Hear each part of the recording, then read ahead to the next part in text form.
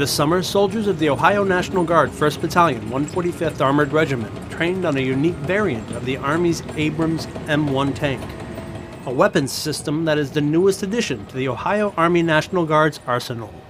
Uh, the, the, new tanks have been in the making for probably about 18 months. Uh, you know, we were, were, put on the list to get them. Uh, we took a, an opportunity to uh, to get down to Fort Hood, Texas, to receive our new tanks. Uh, this new tank, the M1A1 AIM-SA, is a digitalized version uh, of the tank. Um, additionally, it has a CSWS system, the Commander's Stabilized Weapon System, which is a 50 cal weapon station specifically for the tank commander. Soldiers of the 1st Battalion 145th Armored Regiment undergo extensive training in preparation to operate and eventually fire these tanks.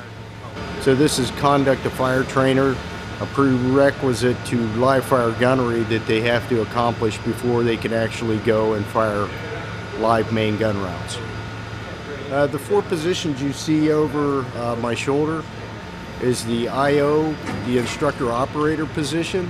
He's the guy that controls everything from the keyboard uh, as the tanks go through their certain scenarios for each prescribed exercise.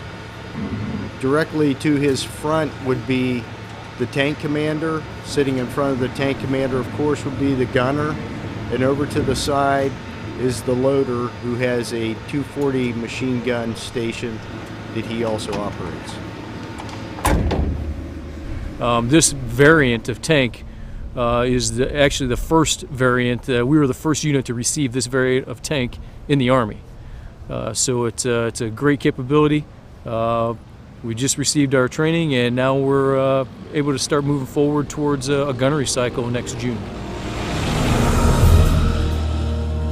I'm Army Staff Sergeant George Davis, reporting for the Ohio National Guard.